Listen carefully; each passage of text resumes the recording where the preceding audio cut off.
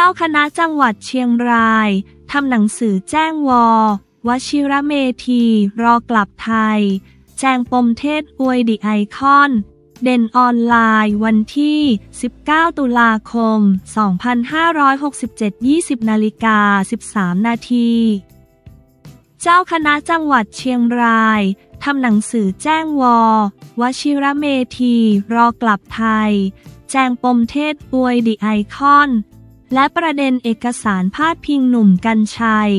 กรณีเพจเฟซบุ๊กพระเมธีวชิโรดม หรือวอวชิระเมธี ออกเอกสารชี้แจงข้อเท็จจริง กรณีความเกี่ยวข้องกับดิไอคอน แล้วพาดพิงบุคคลที่สามอย่างหนุ่มกัญชัย แต่โพสต์เพียงไม่นานก็ลบโพสต์ดังกล่าวออกไป นายอินทพรจันเอี่ยม ผู้อำนวยการสำนักงานพระพุทธศาสนาแห่งชาติ พศ กล่าวว่า ขณะนี้ไม่มีใครชี้แจงถึงประเด็นต่างๆ ที่เกิดขึ้นได้ดี เท่าตัวท่านวอวชิระเมธีเอง ทางสำนักงานพระพุทธศาสนาแห่งชาติ มีหนังสือถึงเจ้าคณะจังหวัดเชียงรายแล้ว เพื่อขอให้ตรวจสอบข้อเท็จจริง ทั้งกรณีเอกสารการชี้แจงที่มีการพาดพิงบุคคลที่สามนั้นว่า เป็นเอกสารจริงที่ท่านวอวชิระเมธีจัดทำขึ้นมาเองจริงหรือไม่รวมถึงกรณีที่ปรากฏคลิป และภาพของท่านวอวชิระเมธีรับกิจนิมนต์เข้าไปเทศที่บริษัทดิไอคอนจนกลายเป็นกระแสวิพากษ์วิจารณ์ ถึงความเหมะสมในเนื้อหาการเทศ ทั้งหมดต้องรอท่านวอวชิระเมธีกลับมาชี้แจงต่อเจ้าคณะจังหวัดเชียงรายเท่านั้น โดยเจ้าคณะจังหวัดเชียงราย มีหนังสือไปที่ไร่เชิญตะวันแล้ว ขณะนี้ยังไม่ทราบกำหนดการที่ท่านวอวชิระเมธีจะกลับมาประเทศไทย เนื่องจากช่วงเข้าพรรษาที่ผ่านมา ท่านเนล วชิระเมธี ไปจำพรรษาที่วัดที่ท่านสร้างขึ้นที่ประเทศญี่ปุ่น ว วชิระเมธีงานเข้ากรมป่าไม้รุดสอบ ไร่เชิญตะวันบุกรุกป่า สงวน แห่งชาติแพรรี่ โพสคลิปวอวชิระเมธี สอนธรรมะ เรื่องยุงผิดจากข้อเท็จจริงคนดูเป็นล้าน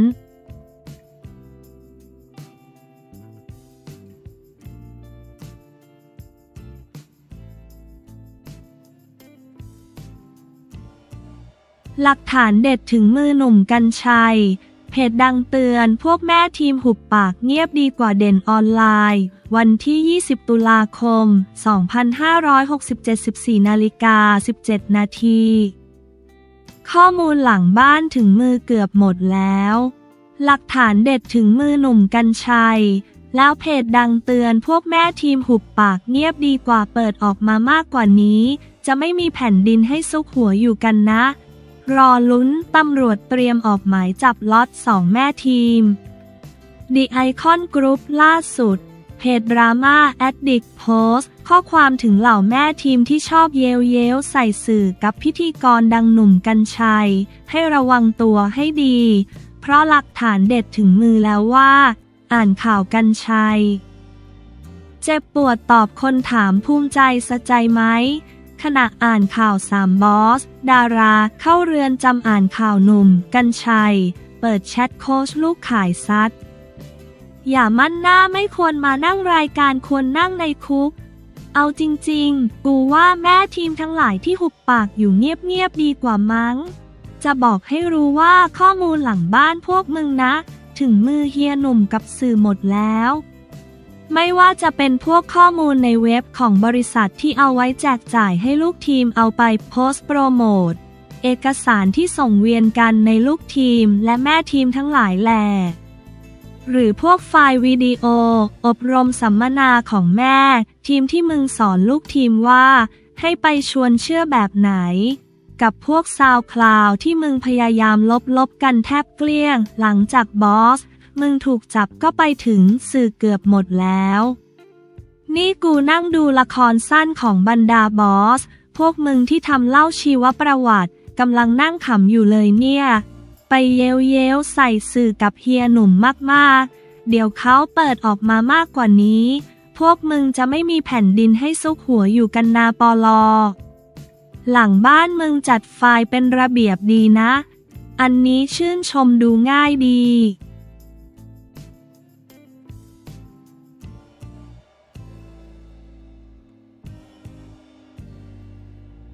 อดีตสววันชัย ออกโรงป้อง ท่าเนว วชิระเมธี ไม่ได้รู้เห็นเป็นใจ ดิไอคอน ชี้เป็นพระดีแห่งยุคสมัยการเมืองวันที่ 20 ตุลาคม 2567 11นาฬิกา 11 นาทีอดีตสววันชัย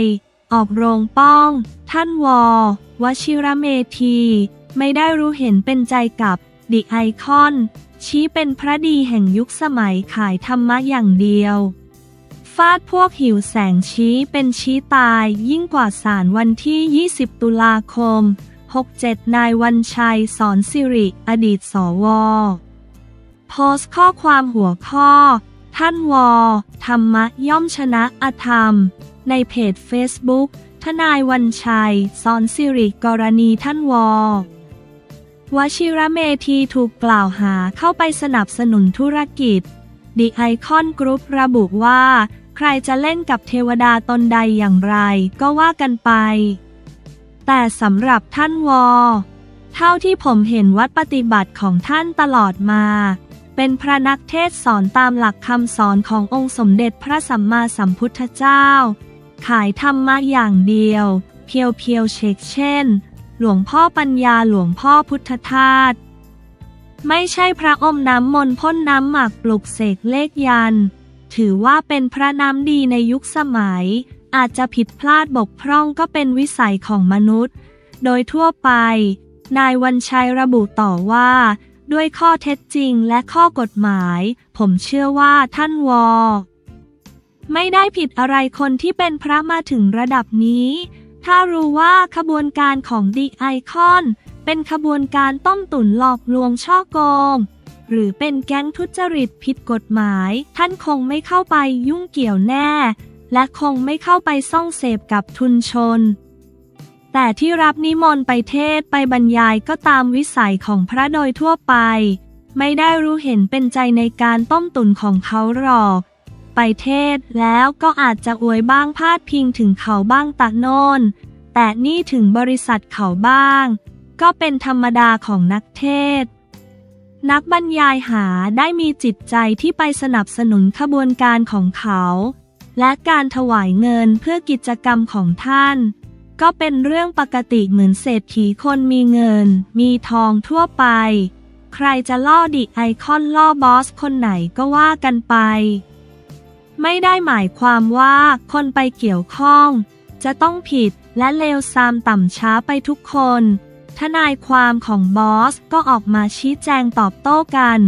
โครมโครมเขาต้องผิดด้วยหรือเปล่า ก็ไม่ใช่ใครจะกลางจะหาเรื่องจะหิว ก็ดูหน่อยว่าแสงมันมืดหรือบอด